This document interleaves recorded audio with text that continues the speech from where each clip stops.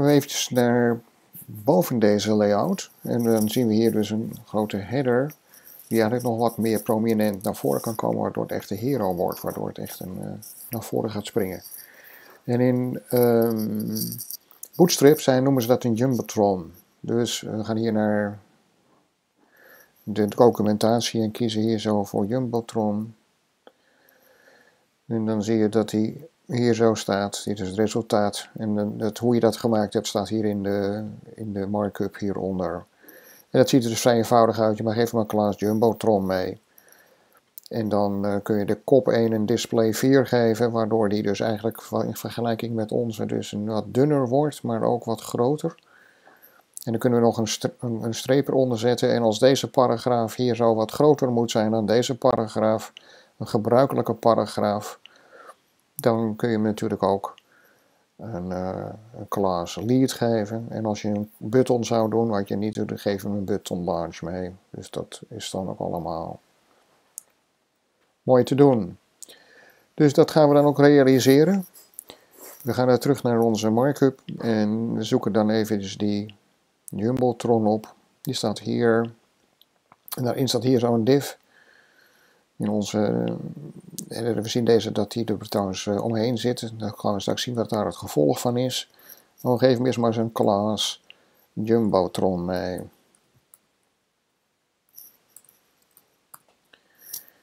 We slaan op. En we zien hier dat het inderdaad een grijs vlak heeft gekregen. En dat is wel mooi. Alleen we zien hier aan de zijkant ook zitten. Dat komt door onze, wat ik net al opmerkte, onze container fluid. Dus dan moet hij eigenlijk een beetje uitgevist worden. Dus ik knip hem hier weg. En zet hem dan hier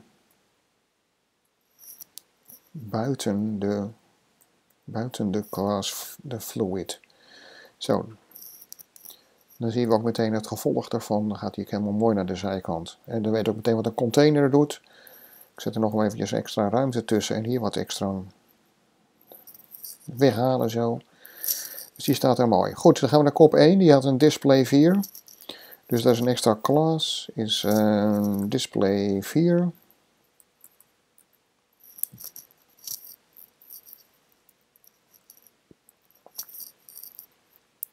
En deze heeft een class lead.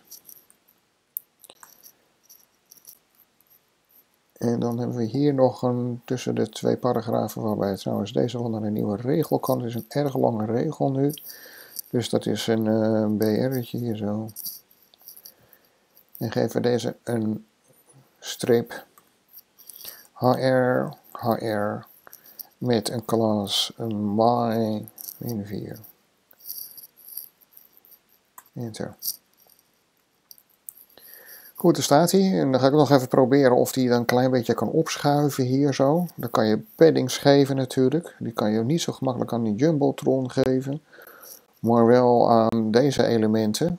En um, als ik dan hier dus een P-4 doe, dan gaat het ook aan alle kanten. Komt er dan dus die um, padding erbij. Maar ik wil hem eigenlijk alleen maar aan de linkerkant hebben. Zodat hij mooi uitlijnt met degene die daaronder zit. Dus dan geef ik een p left min 4. En dat doe ik dan ook hier zo bij deze lead. Padding left 4. En deze heeft nog geen class, dus die geef ik ook een class. En dat is ook padding left 4. En als we zo kijken, dan staat hier ook alles weer netjes uh, mooi in lijn. Ik heb hier nog een, uh, die heb ik nog niet zo meegekregen, zie ik dus. Maar dat komt omdat het dus zo niet ging. Nu heb ik dus een grotere klas en dat hij mooi inspringt. Nou, dat is dan uh, mooi geregeld.